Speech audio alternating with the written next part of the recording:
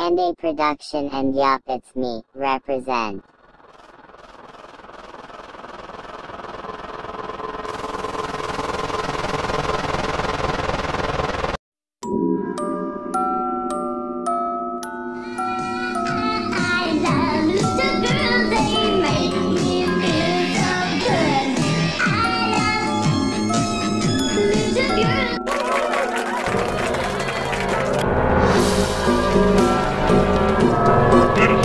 The abnormal sexual attraction toward young kids.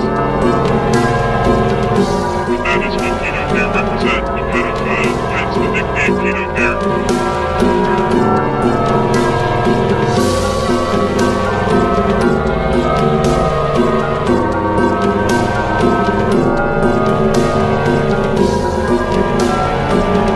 Pedophilia is involved with child pornography.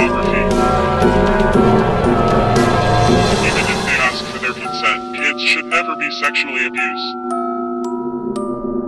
Kids are innocently young. They don't know what the pedophile are doing to them, but